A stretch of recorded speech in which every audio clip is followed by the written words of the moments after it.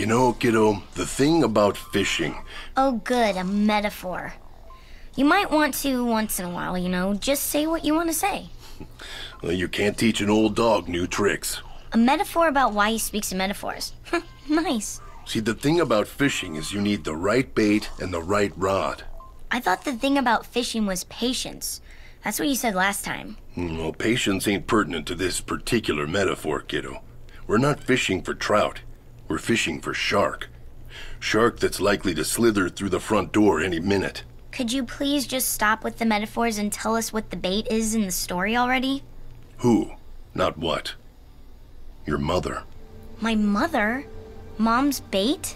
Mm, like shark to blood, bad things are coming for her. It's instinct. They're drawn to her because of who she is and what she can do. They sense how important she is, and they want her gone. This is about Grandpa again, isn't it? It's always about Grandpa. It's not about him as much as what he left behind.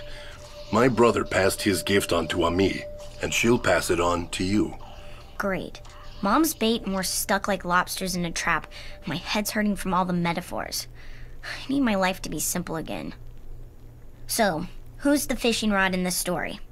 Isn't that obvious?